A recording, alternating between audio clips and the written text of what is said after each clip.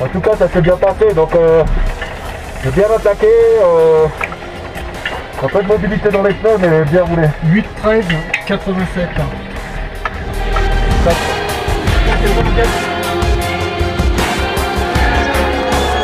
It was uh, really good. For sure, it was a lot of pressure on the start because uh, you know it's all the work of the team behind this project, and uh, now I'm the only one who can make a mistake or break it. So good feeling. So for sure, I'm really satisfied uh, to to reach the top at first without any mistake, and I think the time is really good.